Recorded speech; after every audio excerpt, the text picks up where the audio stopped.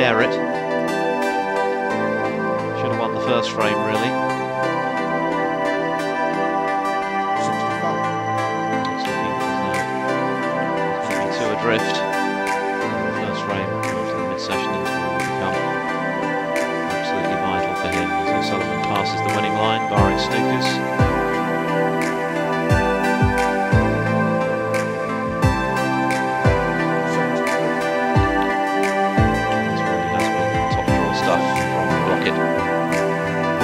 certainly due another ranking title. It's over a year now since his last.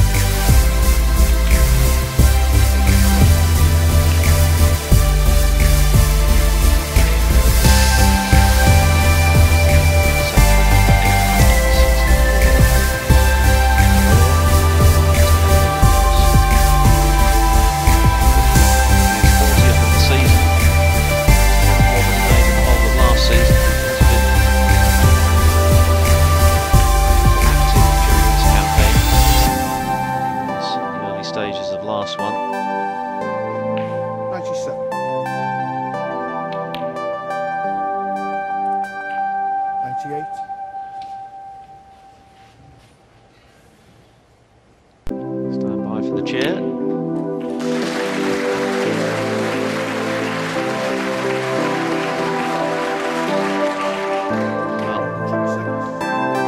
Well, Sullivan in full flow as well.